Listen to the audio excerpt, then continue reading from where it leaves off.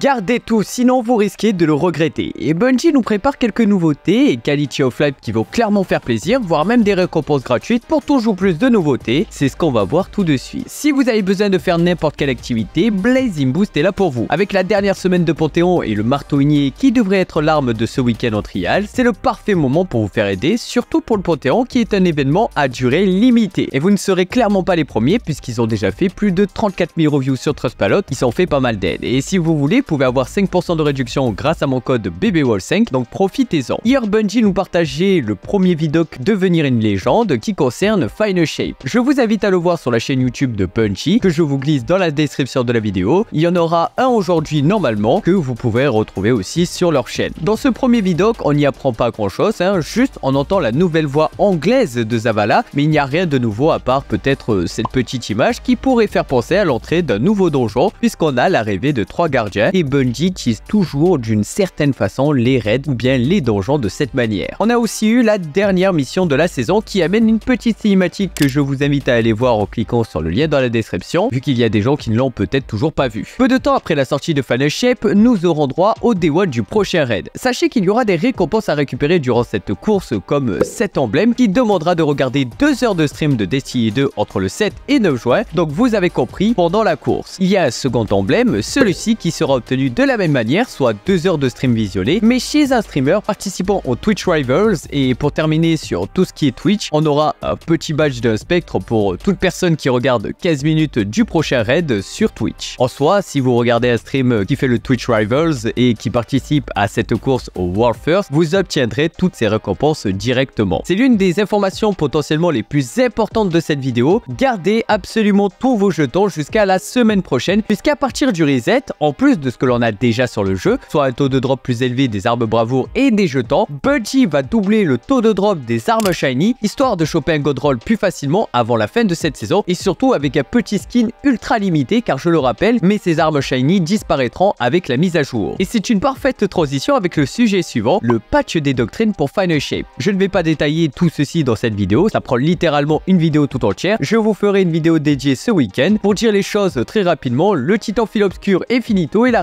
cher, mais j'en parlerai tout en détail dans une vidéo dédiée. Bungie revient sur le nouveau système de récompense qui arrive avec Final Shape, connu sous le nom de Pathfinder, ce que vous voyez à l'écran. Il y aura des Pathfinder pour différentes activités et PNJ, et sera accessible directement au niveau de la carte céleste. Comme vous pouvez le voir, nous aurons 20 objectifs différents, divisés en 5 tiers, qui mènent à une belle récompense. Pour récupérer ce loot, il faudra donc compléter des objectifs, au moins un par tiers, et à chaque fois que l'on terminera un objectif, on aura des récompenses supplémentaires. Une fois la dernière récompense obtenue, on pourra reset ce Pathfinder et tout recommencer. On a ici la nouvelle version des contrats des vendeurs si vous voulez. Pour reset, il faudra juste des lumens et ceci donnera de nouveaux objectifs. Vous pouvez reset autant de fois que vous le voulez et la récompense finale différera d'un Pathfinder à un autre. Toutefois, à chaque reset, la valeur de cette récompense finale changera et la progression sera perdue pour tout recommencer la semaine qui suit. Vous l'aurez donc compris, Pathfinder sera donc le nouveau système de contrat et de jalons de chaque PNJ, notamment le Pathfinder rituel qui concernera l'avant-garde, le gambit et le PVP. C'est pour ça que ça ne sert à rien aujourd'hui de garder des contrats liés à ces différentes activités. Donc plus besoin de se rendre à la tour pour récupérer les contrats de l'avant-garde par exemple, vous pouvez directement inspecter les objectifs depuis la carte céleste en lançant une nuit noire par exemple. Et Bungie souhaite mettre en place une façon de pouvoir directement visualiser ces objectifs lorsqu'on est en activité de la même manière que les contrats. Le but de ce nouveau système c'est de donner les mêmes avantages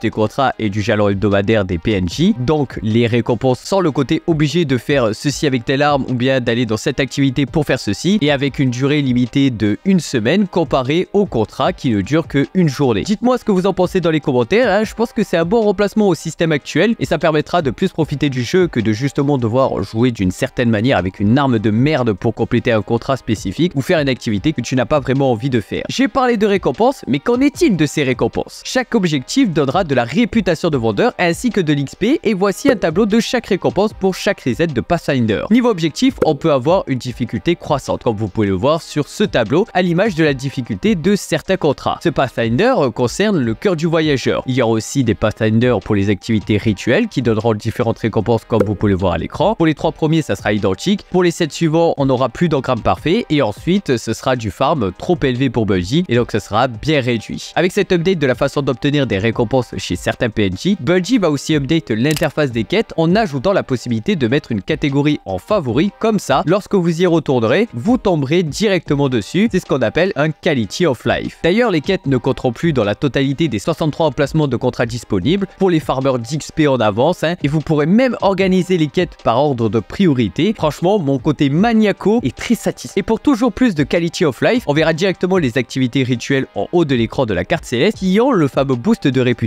les fameux x2 et x3 par exemple. Mais là, pas besoin de bien lire le message de début de semaine pour être bien informé, il suffira de regarder le haut de l'écran. Et pour les joueurs de Private, PVP et Gambit, Bungie améliore cette partie aussi. Cette semaine, on a aussi la dernière semaine de Panthéon. Je vous ai sorti une vidéo dessus que je vous invite à aller voir vu que c'est vraiment très simple à faire cette semaine, hein, si vous êtes bien préparé évidemment. Bungie nous sort une nouvelle fois du lore associé au nouveau boss Riven et Nezarek, et j'aime bien la partie sur Nezarek qui fait penser à une certaine vidéo leak que j'ai pu vous sortir plus tôt dans la semaine. Je peux pas en parler plus, sinon je lâcherai trop d'infos qui pourraient ne pas plaire à certains qui ne veulent pas être potentiellement spoil. Donc je vous invite à aller faire un tour sur le lien dans la description par vous-même. Pour l'arrivée du Panthéon et de la mission dernière heure, Bungie a indiqué à la communauté de faire de magnifiques œuvres, dans celle-ci qui claque de fond. Hein, on va pas se cacher, l'artiste est très doué. Il y en a d'autres, GGO Guardian qui sont référencés dans cette tweet parce que je crois que vous avez gagné quelque chose. Mention spéciale pour le solo Panthéon qui est dans cette tweet, enfin de la performance mise en avant, merci Bungie. A noter que Bungie fait aussi une collaboration avec Steel Series et Control Freak comme chaque année maintenant pour ce nouveau DLC qui sont achetables sur le Bungie Store. Voilà tout pour aujourd'hui. Je rappelle encore une fois de bien tout récupérer avant lundi 3 juin puisqu'on ne pourra plus accéder à DCI 2 24 heures avant la sortie du DLC pour la grosse maintenance. Ça implique de bien ouvrir tous les engrammes des PNJ de la tour mais aussi de récupérer toutes les armes avant le DLC que vous pouvez retrouver dans cette vidéo. Jusque là, on se retrouve demain pour une nouvelle vidéo vidéo, connaissez de vous et prenez des autres, it's a love baby.